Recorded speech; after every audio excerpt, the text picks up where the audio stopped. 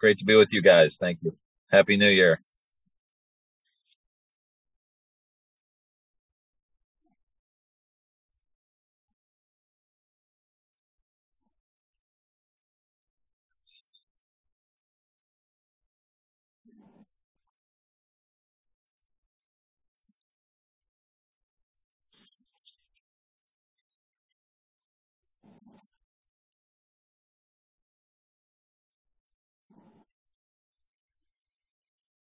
I, I ask myself that same question, Bertram. Uh, you know, thanks for having me. And and and that's that's the thing we all got to wrap our minds around is like why why are people still believing that the election uh, was somehow fraudulent when so many people, Democrats, Republicans, Republican appointed judges by uh, President Trump, even say like there was there was nothing here.